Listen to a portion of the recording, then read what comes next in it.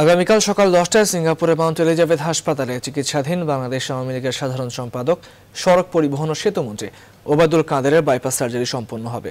তার শারীরিক অবস্থা অনেকটাই স্থিতিশীল বলে জানিয়েছে ভিডিও বার্তার মাধ্যমে। বঙ্গবন্ধুর শেখ মুজিব মেডিকেল বিশ্ববিদ্যালয়ের পরিচালক এবং নিউরোলজিস্ট প্রফেসর ডাক্তার আবু নাসার রিজভি। ডাক্তার ফিলিপ কোহের নেতৃত্বে গঠিত মেডিকেল বোর্ডের সিনিয়র সদস্য, cardiothoracic surgeon doctor Sebastian Kumar Samir উপস্থিতিতে এই সার্জারি সম্পন্ন করা হবে বলেও জানান তিনি।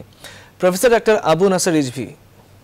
জনাব ওবায়দুল কাদের সাহেবের শারীরিক অবস্থা আলহামদুলিল্লাহ অনেক ভালো আছে। ওনার প্রেশার, ডায়াবেটিস সবই কন্ট্রোলে আছে। মাউন্ট এলিজাবেথের ডাক্তাররা সিদ্ধান্ত নিয়েছেন, আগামীকাল দশটায় ওনার বাইপাস সার্জারি হবে।